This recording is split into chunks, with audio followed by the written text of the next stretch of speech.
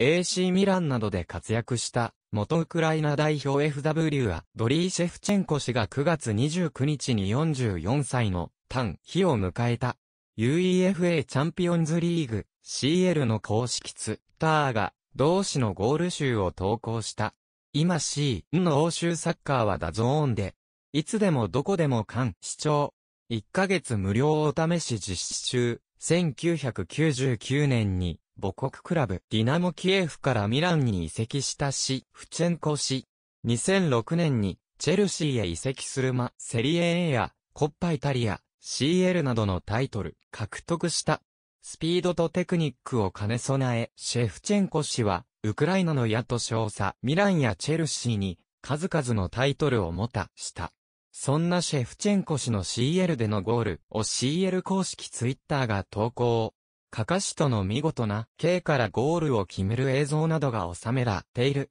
次ページ、動画、シェフチェンコ氏の CL5、ルシューはこちら。